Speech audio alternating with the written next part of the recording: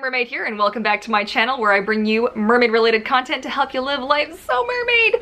And today we're gonna be building a mermaid monofin storage system. So I had a great system in place. For the longest time it was fine. I had a big bin and I taped a plate holder into it and I just stacked them in there like a little filing system and it was great. Then I got, I think, four new monofins and it all kind of went downhill from there.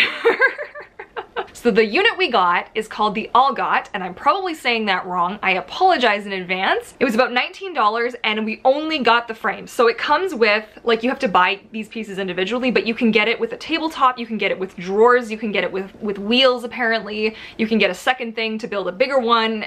Anyways, I just got the frame because that's all that I was gonna need. I counted like, I've got these monofins, this is how I'm gonna stack them, this is gonna be fine. Super easy to put together. Let's jump to the footage.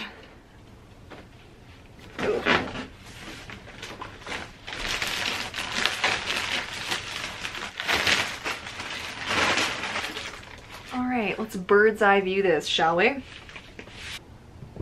So it was really easy to put together. I honestly didn't have a need for a lot of the extra little brackets and stuff because I'm not making this a big tall thing. Obviously, if you're, a, you know, a tail maker like me and you have a huge store of monofins and you need a bigger one, you can make it bigger if you need to. Um, I am going to keep it small because I only have the monofins that I have and I can tuck it just easily under my desk since I am at a premium when it comes to space. Like, there's no floor space anywhere in this apartment.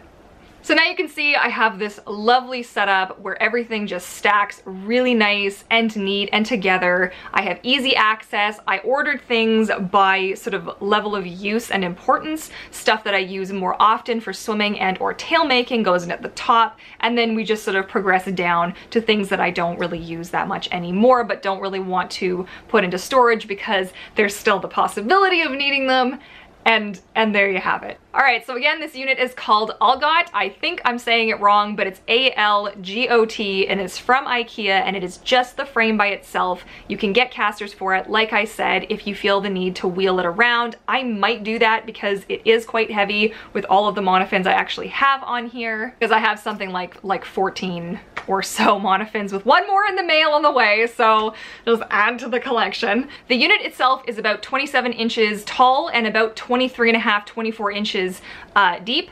So it fits just so nicely in there, I can't even tell you. And all of the monofins now look so good. I can see everybody, I know who's there and I just feel so much better about it. So now for all of those of you who've been asking me, that's the answer, okay? That is the storage solution. I have yet to find a good storage solution as a long-term thing for my mermaid tails. They just hang in the hallway that's gonna be another video. And if you found this video at all useful, please feel free to give it a big thumbs up and don't forget to hit that subscribe button to join the pod and the bell notification as well so you never miss an upload. And if you don't wanna say goodbye just yet, be sure to swim on over to patreonpod.com, our extended pod community. For less than the price of a cup of coffee a month, you gain access to our monthly mermaid tail coloring challenge, our behind the scenes patron only feed, our Patreon pod private Discord community chat, our private monthly live stream, and more. So if any of that sounds interesting to you, be sure to swim on over. Again, that was patreonpod.com and we would love to have you join us. All right, and that's it for today's video. I wanna thank you all so much for watching and I would love to hear what your storage solutions are because as mermaids, we tend to accumulate a lot of stuff and I would love to hear